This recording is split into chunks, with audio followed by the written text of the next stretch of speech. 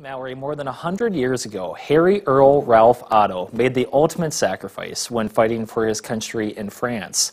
And today, members of the community of Danbury celebrated his legacy once more.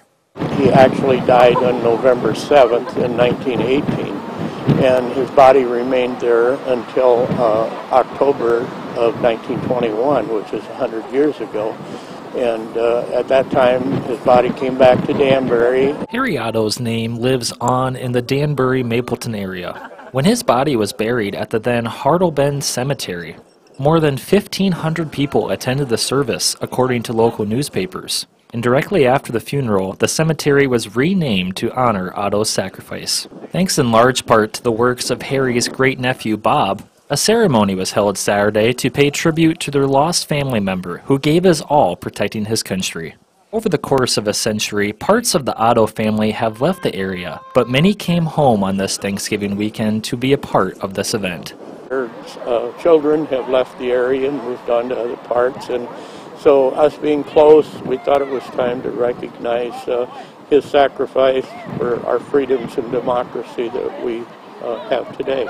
The tribute truly was a small Otto family reunion, as Harry's great great niece Molly sang the national anthem in America the Beautiful.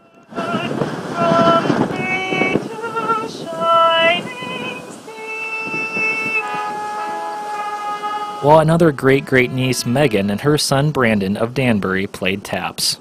Members of Danbury's Carlson from Post 336 and Mapleton's Lauren Hollister Post 496 American Legions were also in attendance to give the military salute. It's very special to see his relatives come back here for Memorial Day and today uh, as my wife had said earlier, it's hard to look around here and find someone that I'm not related to, you know, and uh, that that's kind of a symbol. And a Danbury resident delivered a poem at the cemetery honoring Otto. The last sentence of the poem, Harry Earl Ralph Otto, his name, his initials spell hero, his fame. Dylan Adams, KCAU 9 News.